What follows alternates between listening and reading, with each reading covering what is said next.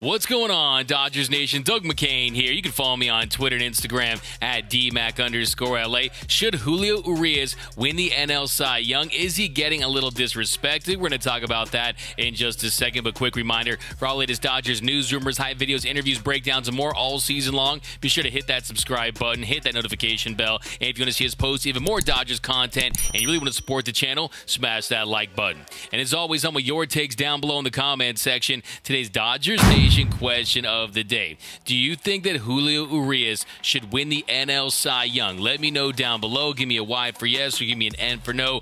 Also, do you think he's a little underrated and a little disrespected around the league? I want your thoughts on that. And for all latest Dodgers news, head over to DodgersNation.com.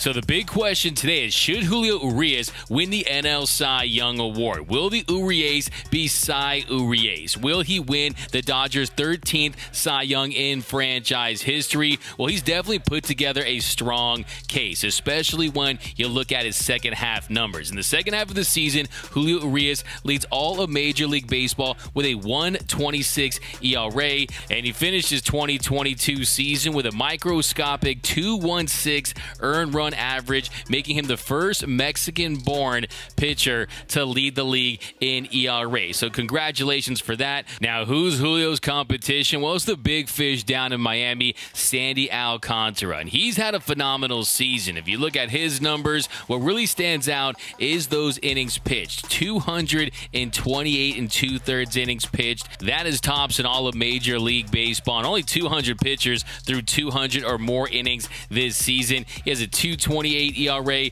a .98 WHIP, and also he leads the league with a 8.1 WAR. So his WAR numbers are so significant. The innings is six complete games this season. So he's been fantastic. Make no mistake about it. And there's a really good chance that he's going to take home the Cy Young Award. But if you want to make the case for Julio Urias, I think you look at a couple things. I think one, you look at how he's finished this season. In their last 13 starts, second half of the season, Julio Urias leads all all of Major League Baseball with a 1.26 ERA. Sandy Alcantara's last 13 games, a 3.01 ERA. Yes, he has some complete games in there. Yes, he has some gems sprinkled in there. But the other thing I think you consider too is the fact that Julio Urias has been the best pitcher on the best team in Major League Baseball, on a historic team, a team that won 111 games, a team that won the most games in the National League since 1906. They also led the league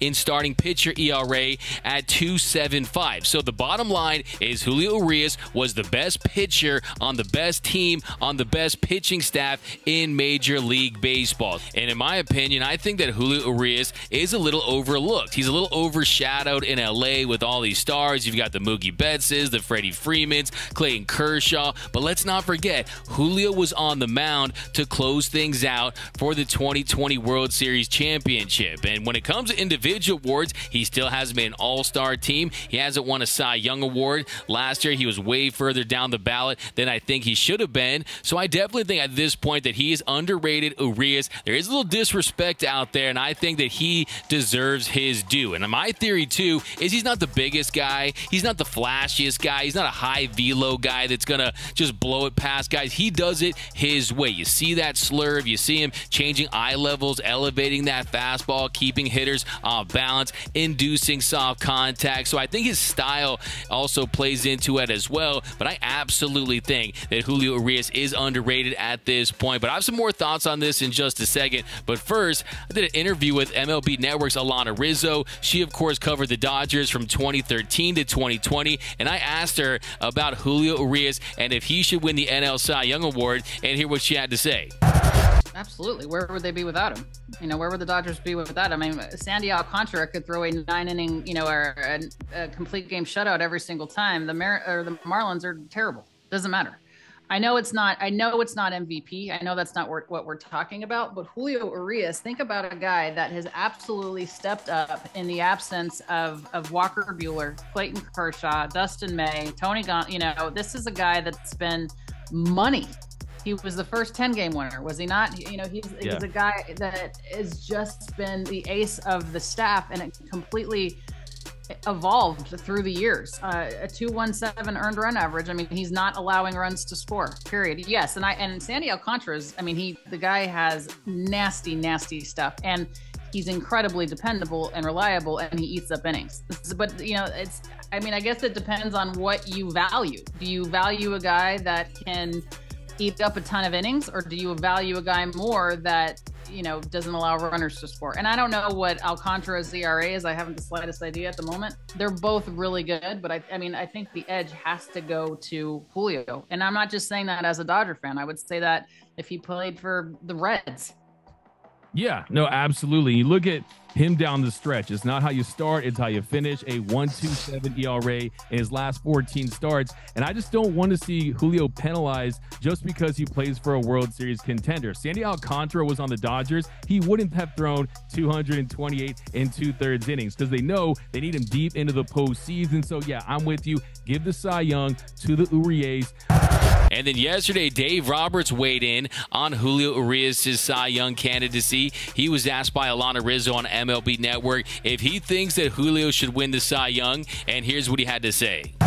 You know, nothing against Sandy. I think Sandy's had a tremendous season, but Julio, and this is a regular season award, and he was the ace for the best team in baseball uh, throughout the regular season. I do believe that ERA certainly matters and all the stuff that he's done, and you know. Uh, for us as a team that's planning to play through October uh, to curtail innings here and there, which I personally have done, we've done in the best interest of him and the team. I don't think he should be penalized for that. And I think that obviously Sandy's body of work uh, speaks for itself. But you know, Julio's underlying numbers, all that stuff uh, speaks Cy Young for me. And then after his final start of the season, Julio Urias was asked about winning the Cy Young Award, and here's what he had to say. He told reporters, That's out of my control. The focus now is doing my job in the postseason and trying to get another championship for LA, especially with all the criticism that goes with that 2020 shortened season. We want to finish off strong. So I love the focus. Julio Urias, he wants to win that World Series title, and that is where his legend is. He is a postseason legend, in my opinion. He's already certified, but can you imagine if he goes on to lead the starting rotation to a World Series title? It's going to take his legacy in LA to a whole nother level. So, yes, Sandy, you can take the NL Cy Young Award because you're probably going to win it, but Julio Urias, he's going to be playing deep in the postseason, and hopefully he gets the trophy that really matters that World Series trophy. Maybe even a World Series MVP. You never know. But Sandy's had a great year. Julio's had a great year. And I just think the fact that he is going to be in the top three. I mean, if not, it's going to be an absolute rob job. But if he ends up in the top three, that truly means the dream has been realized. That Julio Urias is a legitimate top five to 10 starter. He is an ace